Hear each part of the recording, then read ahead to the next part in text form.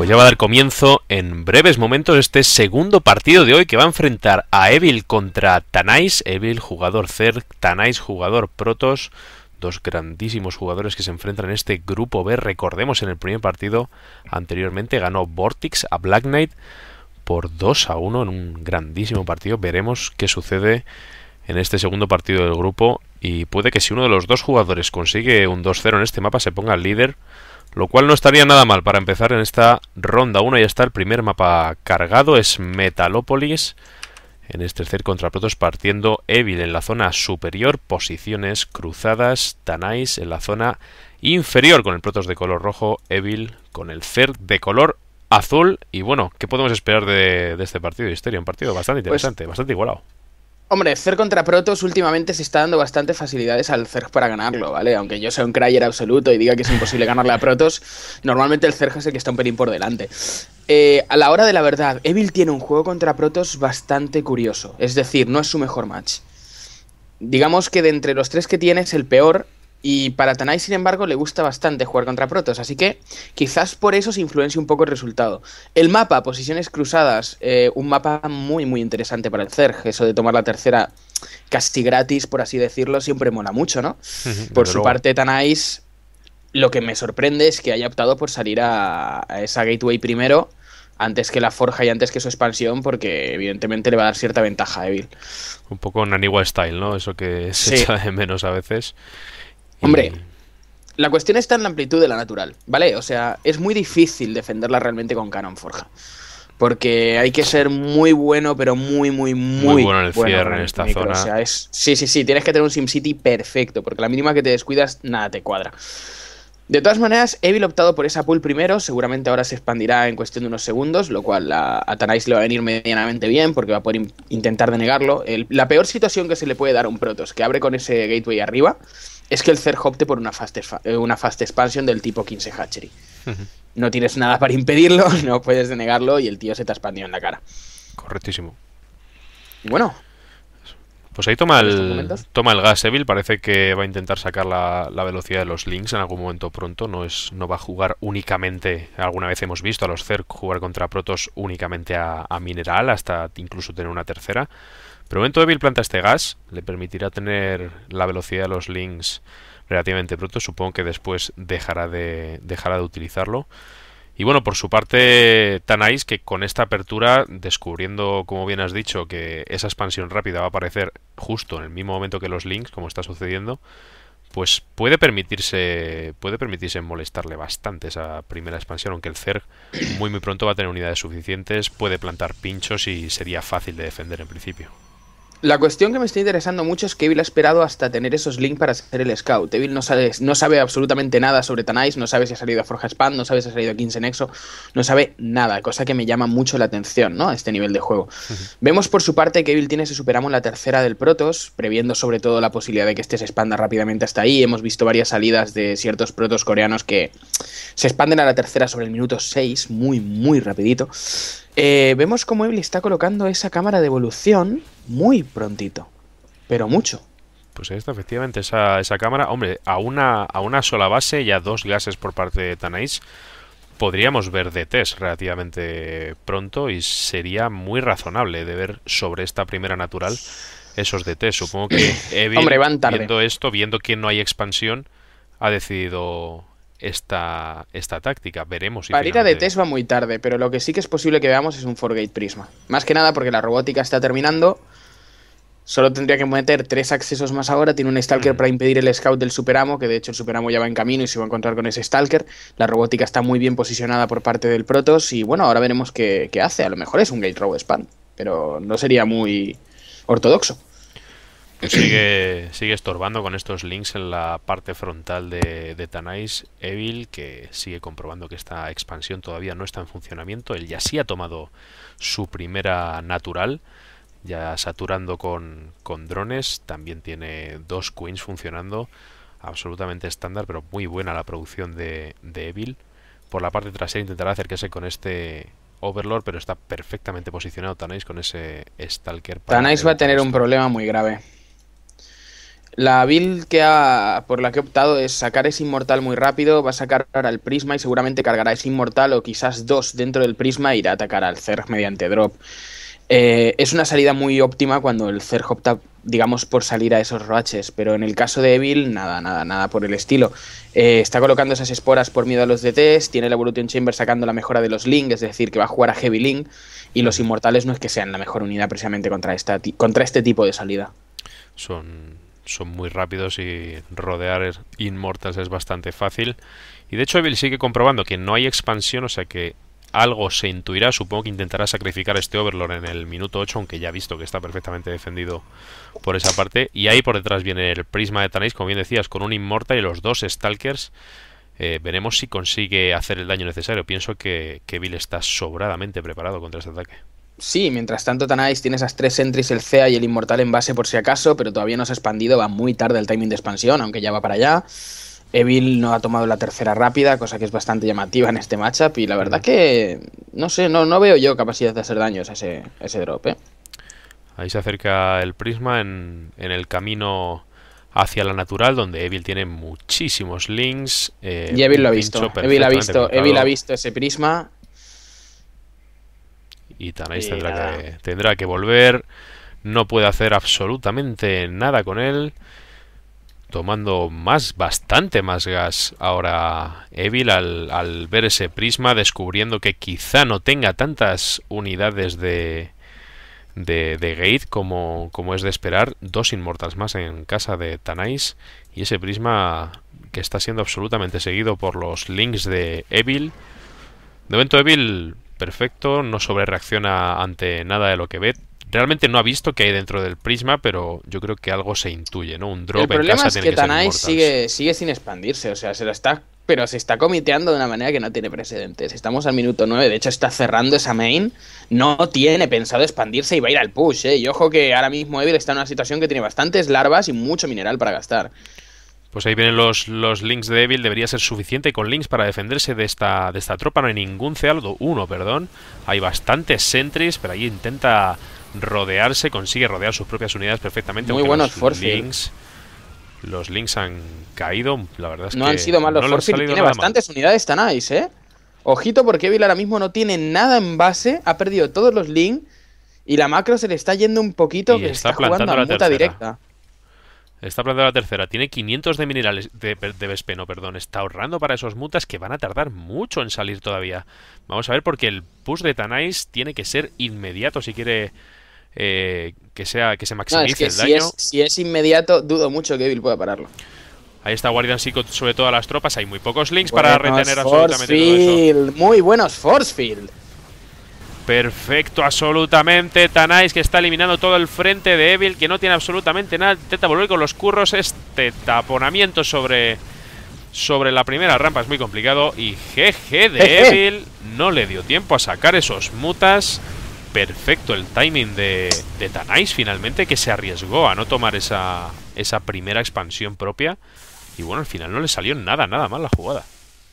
No, la verdad que le ha salido muy muy bien, bastante sorprendente de hecho por la composición que tenía Evil. Creo que Evil se durmió un poco a la hora de tomar la tercera, porque tenía mil de mineral acumulados, no tenía nada de gas y no tenía larvas para gastarlo tampoco. Le faltó esa tercera hatching en algún u otro momento. Yo creo que estuvo ahí el problema, fue una cuestión de macro más que de, de capacidad de poder pararlo, ¿eh? A mi forma de verlo, al menos. Vamos a ver qué mapa, qué mapa elige Evil. Pues Tanais que se lleva este primer partido, este Metalópolis. No es realmente nada fácil ganar a, un CER en Metalópolis, especialmente cuando mantiene una buena economía. Pero como bien dices, quizás se retrasó un poquito Evil en tomar esa tercera. Quizás esperó también demasiado a esos mutas que nunca llegaron. Y es muy complicado defenderse únicamente con links. Incluso cambiando esa, esa expansión por, por pinchos hubiera sido capaz de retenerlo, igual le hubiera valido la pena cancelarla. Pero bueno, no fue así. Finalmente Tanai se lleva este primer mapa, a pesar de, de que aparentemente Bill tenía una, una build order muy fija, muy, muy limpia y muy concreta. Pero bueno, al final no todo sale bien y Tanais, no sé si por conocimiento perfecto del timing de los mutas, eh, ha podido hacer ese push y llevarse este primer mapa por, por la mano.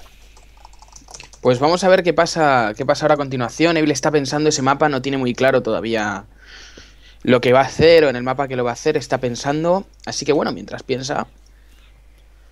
Mientras piensa, pues hacemos una pequeña pausa y volvemos enseguida con este segundo mapa entre Evil y Tanais. Recordemos, se ha llevado Tanais el Mm, primer no va a haber pequeña pausa porque No va a haber pequeña elegir el mapa. Bien, bien, mucho mejor, hombre. Madre mía, esto parece que lo hagan a propósito. ¿eh? Yo creo que se esperan hasta el último segundo para asegurarse de que digamos las cosas y en ese momento es cuando ¡Sasca! Exacto, exacto. ¡Sasca! Bueno, ¿y cuál es el mapa escogido por hoy? Sorpréndeme. Pues ahora lo verás. Sakuras Plató. Pues. Esto sí que es raro. Es arriesgado, es arriesgado. Es arriesgado por su Esto parte. yo lo veo muy raro. Porque realmente, si salen posiciones cercanas por aire y repite tan exactamente lo mismo, ahora sí los Immortals pueden hacer mucha pupa. Veremos si. Qué tiene planeado Evil para este Sakuras. Interesante elección, sin duda. Pues bueno, dicen que go, go, go, go, go. Pues vamos allá, Ángel, vamos allá, Sakuras Plató. Sakuras Plató. muy bonito. Sí, sí, desde luego. Segundo mapa entre Evil y Tanais. Cer contra Protoss en este grupo B. Recordemos, Vortix está líder ahora mismo. Lo único que con un dos victorias, una derrota en cuanto a mapas. Con lo cual, si ahora mismo Tanais se lleva el mapa 2 a 0, se pondrá el líder de este grupo B. Lo cual, como bien he dicho antes, no estaría nada mal para empezar en esta primera ronda de la División de Honor. Pues aquí está el segundo, el segundo mapa, perdón, se me va la cámara de paseo. Evil partiendo en la zona superior izquierda de este Sakuras plató con el Cer de color rojo y Tanais con el Protoss de color azul en la zona inferior derecha, posiciones cruzadas, bien para Evil. Yo creo que buscaba Pues precisamente esto. que bien para Evil y mal para Evil. ¿Por qué? Porque en este mapa esto es precisamente lo que más asusta a los protos. Esa Forja Span. ¿Por qué? Porque es un mapa en el que los protos pueden defender muy bien su tercera y su cuarta. Donde toman la natural sin que el Zerg pueda impedirlo. Es un mapa que al Zerg le cuesta, sobre todo a la hora de plantear el match. Por eso me llama mucho la atención que Evil haya optado por este mapa. De todas maneras, es un mapa al que, según tengo entendido, le gusta mucho jugar. Entonces quizás lo he escogido más por ese hecho que por cualquier otra cosa, ¿no? Estoy acostumbrado a jugarlo, me siento cómodo en él y como me siento cómodo en él, pues está bien para intentar remontar, ¿no? Yo lo, lo veo más bien por ese enfoque que por otro en particular. Correcto. Eso que quiera meter Naidus. También no estaría nada mal. Evil saliendo con esos Overlord, Tanais cerrándose sobre la rampa de, de la expansión natural. Ahora sí veremos Forja expansión por parte de- del Protoss. Mm. Pues Buena sabes que no descarto el Naidus. Fíjate en ese segundo Overlord. Se está desplazando directamente hacia la otra main del mapa. No va a mandar un drone de scout, no va a mandar links de scout. Y normalmente el, el Overlord que mandas a descubrir el costado también lo puedes mandar a descubrir la natural. Hmm. Por tanto, no te hace ninguna falta enviarlo como tal. No a este timing, es decir, puedes mandarlo mucho más tarde y llegar a ser el scout adecuado. Me parece que lo que quiere hacer Evil es colocar ese over en una posición cómoda para, para intentar un Naidus, ¿eh? Pues vamos a ver, porque ahora mismo está descubriendo que ahí no está Tanais, con lo cual ya sabrá que está abajo y precisamente, como bien dice, ese Overlord puede hacer muchísima pupa colocando la Nidus bastante cerca. De hecho, esta apertura de Tanais con Forja Expansión debería ser suficiente. Podría cerrarse ahora bastante bien sobre esa rampa. Es una buena defensa, salvo que te cuelen la Naidus en, en tu propio main. Hombre, todavía no, no te puedo decir mucho más. Está recogiendo el gas, tiene la expansión tomada, puede hacerlo, esta puede no zona de aquí atrás, trasera, puede ser bastante interesante a la derecha de- del main de, de Tanais, precisamente para hacer esa Nidus. Puede hacer bastante pupa. Veremos. Y la clave, la clave para poder hacer eso es tener un Overlord que pase por detrás. Y ahí tiene dos posibles. Tanais ya ha colocado ese canon, tiene la probe ahí dando vueltas. Vamos a ver si consigue eliminar una de las pruebas. ha caído la pro. consigue. Cae también uno de los links. Con ese canon concluido, el acceso a punto de terminal y completará el walling. Ahora Tanais en cualquier momento por su parte. Evil, que ya ha plantado esta Ha expansión, después plantó el gas. gas. No ha quitado el gas. no ha quitado los curros del gas. Efectivamente, sigue con ese gap. Veremos si, si sube el layer nada más llegar a 100. Ese Overlord de Evil ya está en la parte trasera. Está viendo cómo este nexo de Tanais sobrenatural eh, ha concluido. Y bueno, puede ser un, un buen indicativo. Yo creo que la clave es esto de aquí, es muy llamativo. Ese superamo está en una posición curiosa, cuanto menos. Normalmente lo colocas un poco más, digamos, debajo, para entrar de abajo hacia arriba y de arriba hacia abajo desde la natural y ver toda la base cuando escauteas. Pero en esa posición, si te fijas bien, el único lugar que está desbloqueando es una pequeña esquinita de la base de, de Tanais que no suele ser escauteada. Es una, una, digamos, uno de los sitios que menos importancia se le da a la hora de, defenderte. Hemos visto también cómo, cómo Tanais ha escauteado la expansión. La Lady ya está en camino, segundo gas.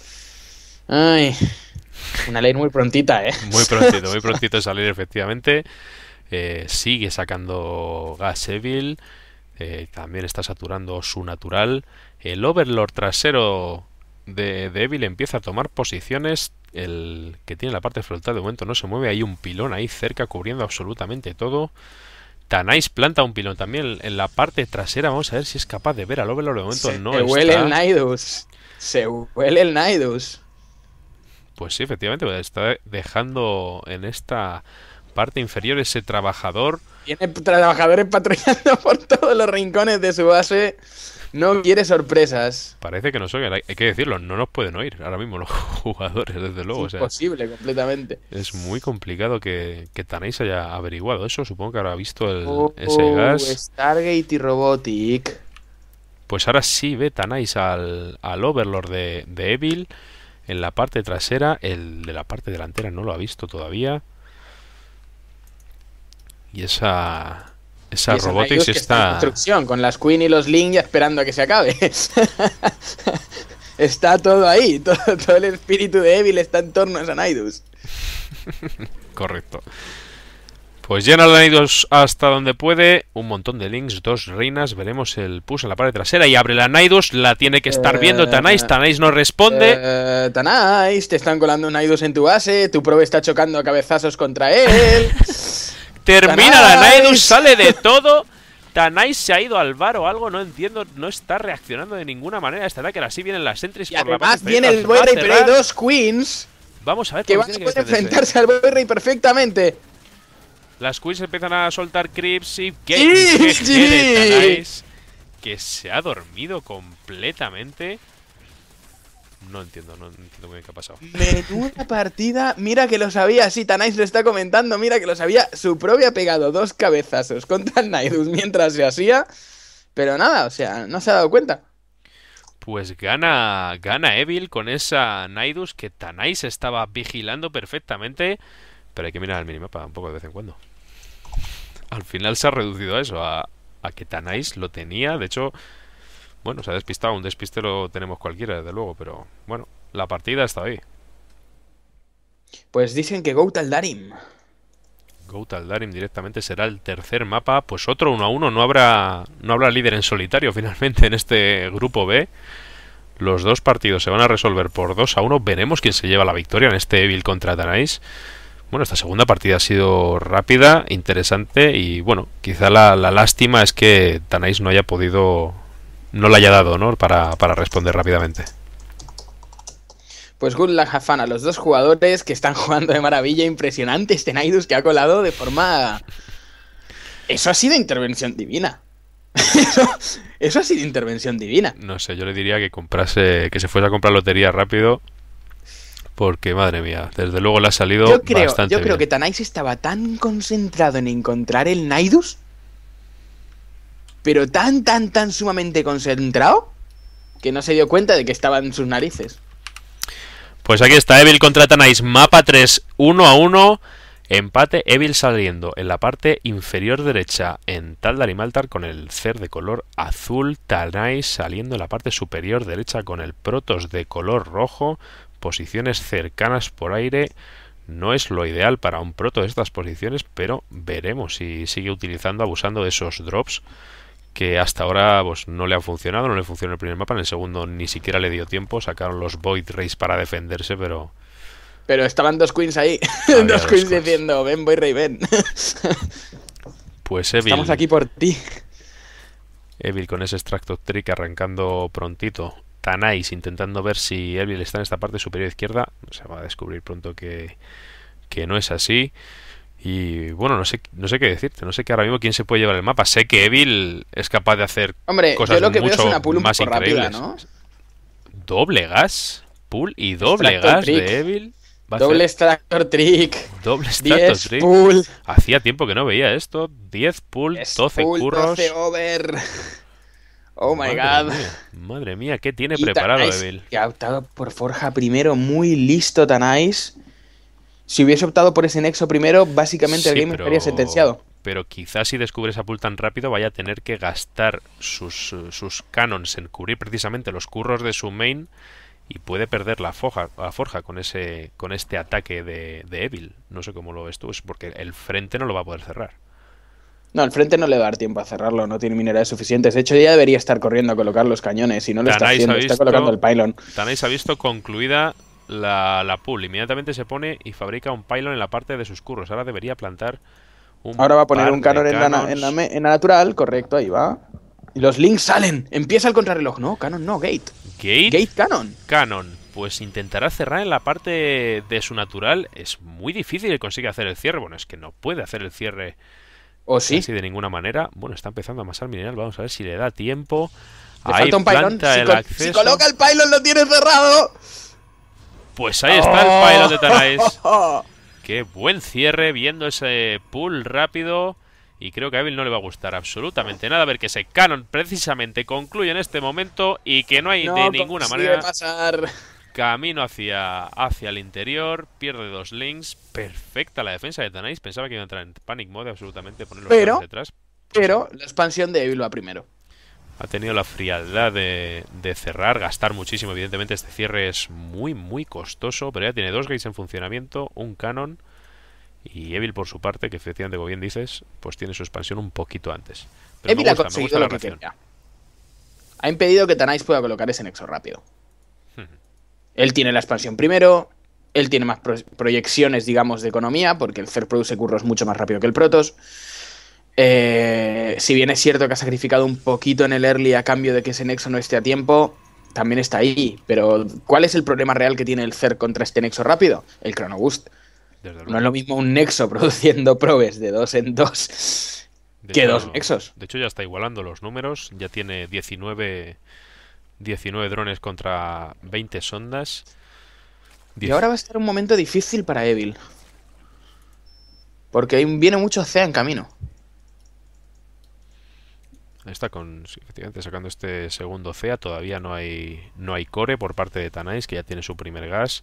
Evil, viendo absolutamente todo lo que sucede por aquí con ese Overlord, termina la natural de Evil, plantará un pincho en la parte frontal esperando pues cualquier tipo de agresión precisamente con unidades de, gate y sigue sin minar gas parece que intentará responder con mucho curro justo parece que me ha escuchado y pone, pone los curros en el gas en este momento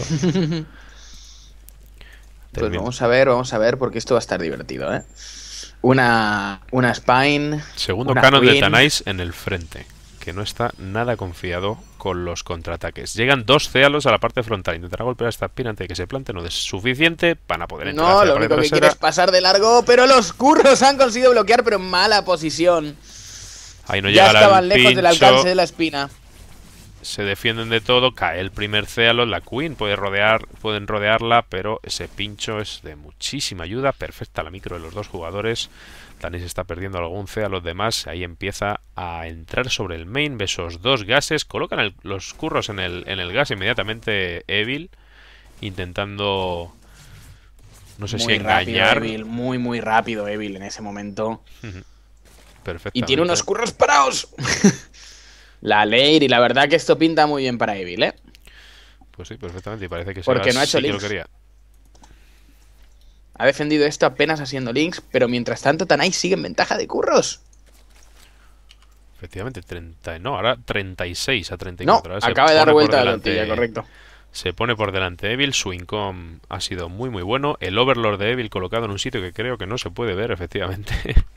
este lugar de Taldar y Maltar te permite mantener ahí el Overlord un tiempo hasta que haya un Observer cerca, Stalkers.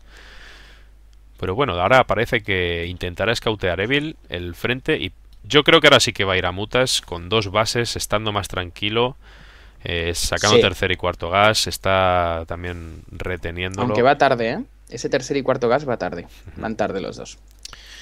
La ley terminada, comenzará la Spire seguramente en cualquier momento, veremos ¡Oh! Pues Hydra Hydras. Hydras de momento para. Para Evil. Curiosa elección. Quizá Evil, esperándose cruzo algo los aéreo. dedos por ti y ponme un Naidus. Otra vez. No puede ser. Dos Naidus seguidos. Sería Hay un demasiado. push muy interesante de Hydralink que se hace colocando un Naidus no en la base del proto, sino cerca.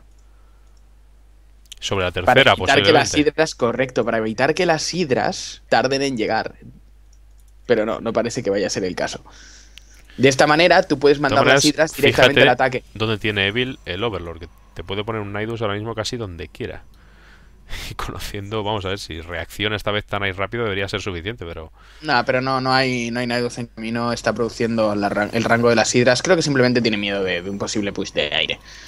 Aunque bueno, siete hidras sin motivo alguno para parar un push. Uno, dos, tres, gates. Cuatro, cinco, seis, siete gates. Bien. Es un, es un problema esto, no sé. Ahora sí está viendo Evil absolutamente todo, saca seis cucas. Yo creo que, como bien decías, esperaba algún tipo de ataque aéreo con quizá Phoenix Voice Ray o algo así. No subestimes a las hidras para parar tropa de gateway, ¿eh? Hombre, que tiene un. DPS. Pero hay que tener mucho cuidado con ella, mantenerse en el creep, no es fácil. Es, No, no es fácil, una para unidad delicada. Y ahí va, tiene muchísima tropa Tanais. Tanais entra con millones de Stalkers en la parte frontal, empieza a golpear. Los Hydra están solo, cae el primer Hydra. Las cae hidras están tanqueando el daño de las raches. Cae muchísimo Mala posición. Eso es un problema. Empiezan a llegar las roachas, no son suficientes. Buenos eh, force fields que le han permitido mantenerse en esta posición trasera, lejos de, las, de los pinchos. Ahí los pinchos pueden hacer muchísimo daño. Intenta caer el primero. Han caído las dos sentries. Buen focus por parte de, de Evil que ha dejado sin sentries a Tanais. Ahora lo que tiene son muchos Stalkers y dos Cealots. Y el Naidus que acaba de terminar. Cucas, son tres cucas y muchos hidras. Creo que no es, la, no es la composición perfecta contra esos Stalkers. Vamos a ver si consigue. Llegan más cucas, llegan más cucas. Vamos a ver Tiene que si- luchar en esas espinas. Los Ceas absorben muchísimo daño, sigue produciendo Evil, se la están jugando los dos jugadores al límite. La ventaja ahora mismo para, el. Cer, aunque está bastante igualado ahora con ese nuevo warpeo. Vamos a ver, llegan bastantes cucas. Las cucas pueden tanquear bastante mejor esto. El focus no es ideal. Hay un par de stalkers bastante, bastante tocados. Ahora sí, parece que cae uno, otro, el tercero. Puede defenderse, llegan los ceos a la parte, a los cealos a la parte frontal, retro. Están todas las roaches en rojo. ¡Oh, Dios mío!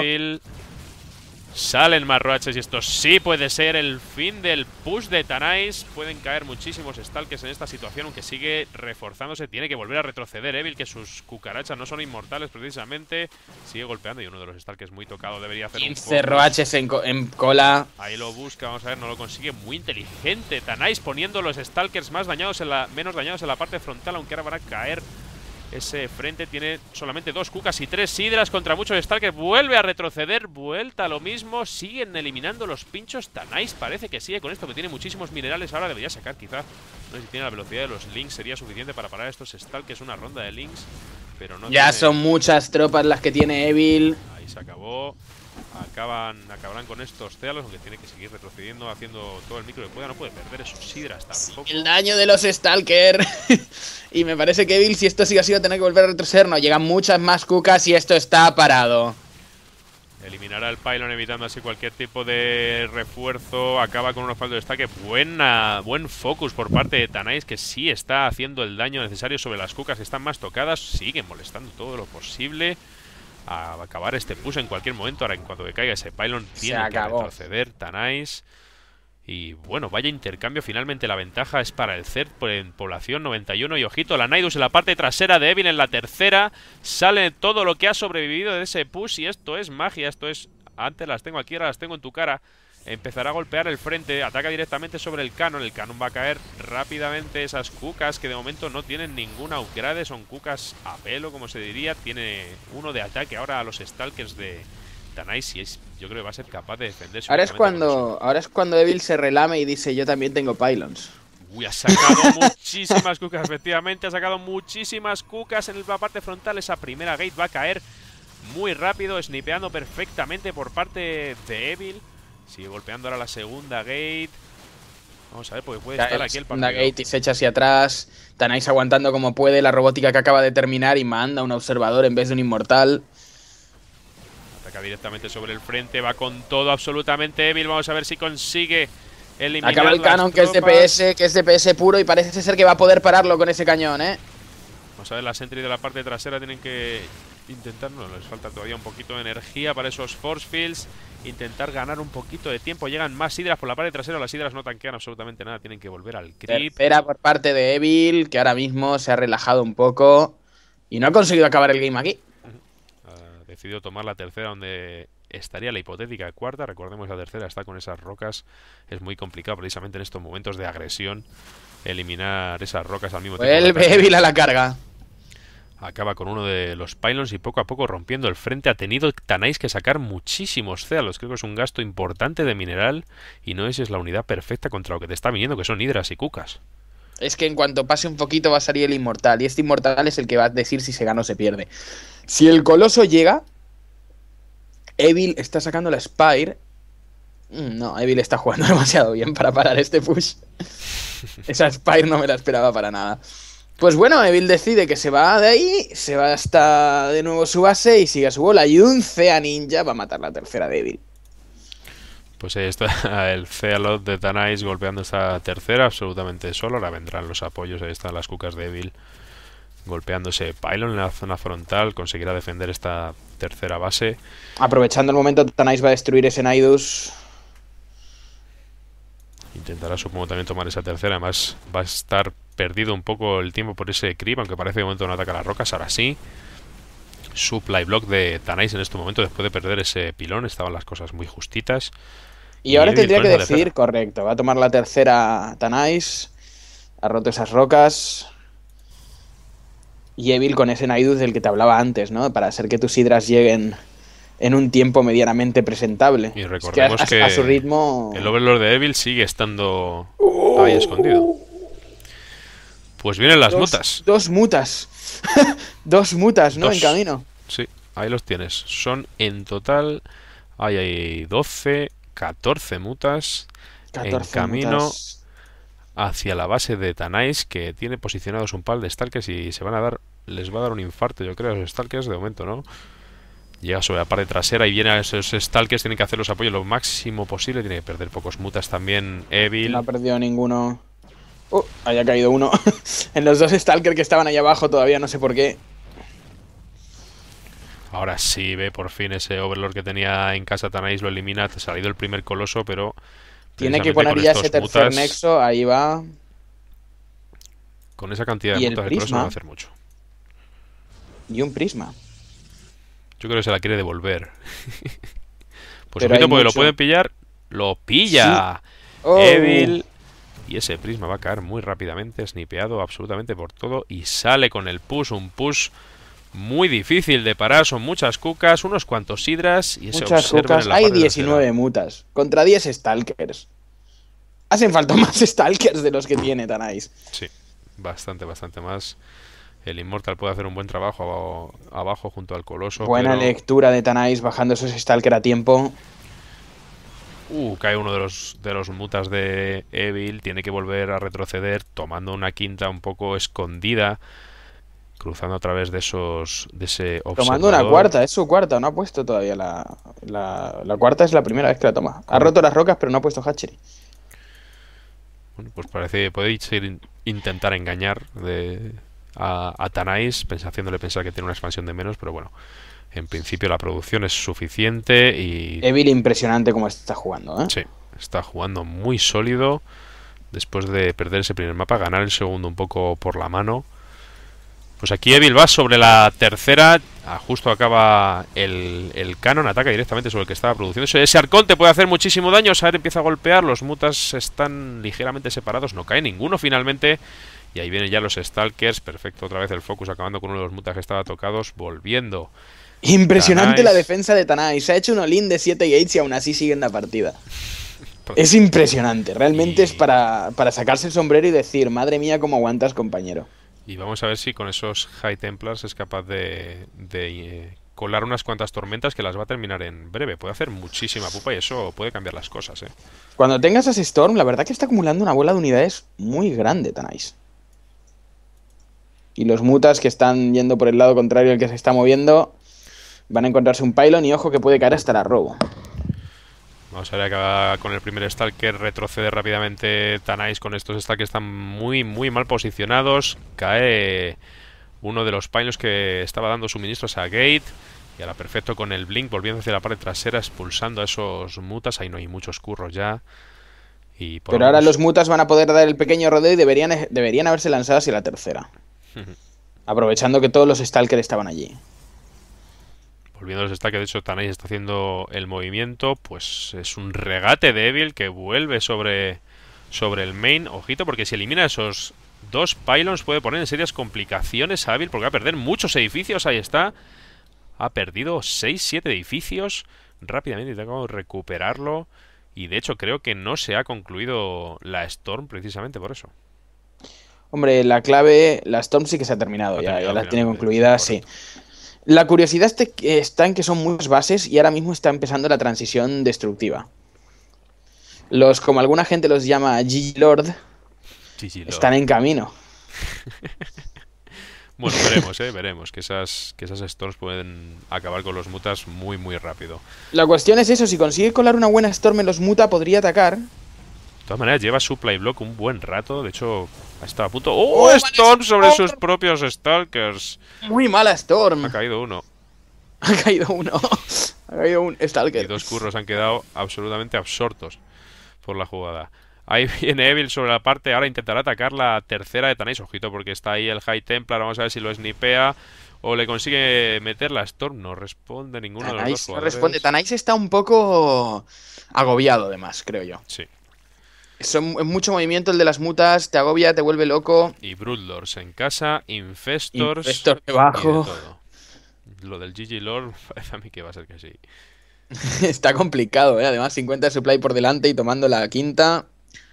Estos mutas van a durar muchísimo, han hecho su trabajo de mantener... Los mutas han dado la partida.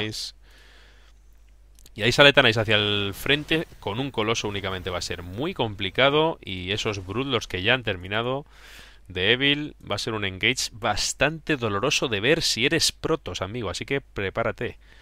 Lo siguiente puede... Recomendamos, recomendamos a los viewer Protos que apaguen el stream durante unos breves momentos, cambiar el canal. Puede afectar a su sensibilidad. Esto es como cuando tapas los ojos al niño pequeño en la peli de terror en el momento clave. Exacto.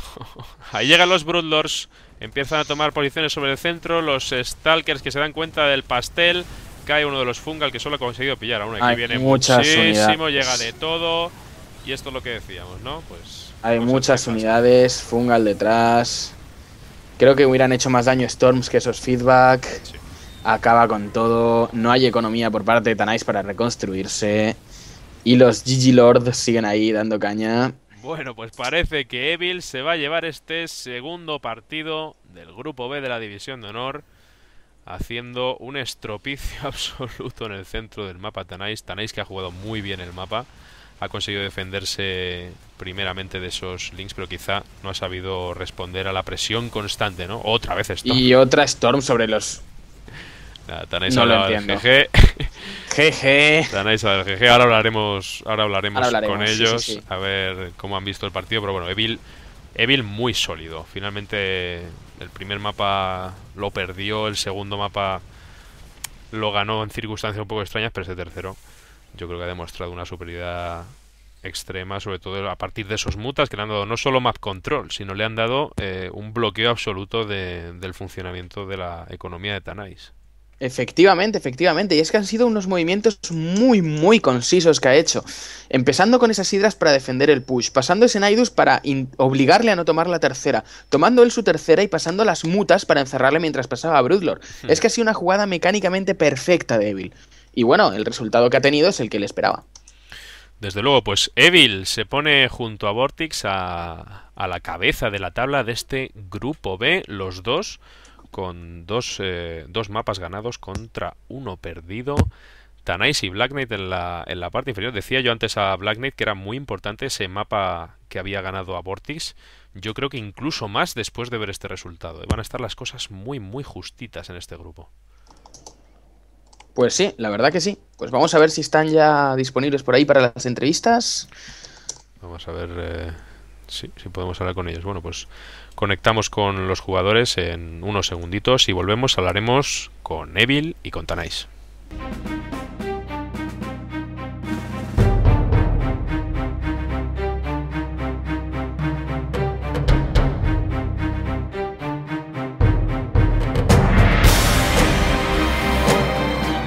Pues ya tenemos aquí a Evil y a Tanais tras este, tras este interesante partido acabado finalmente 2-1. Eh, buenas Evil, buenas Tanais, primero de todo.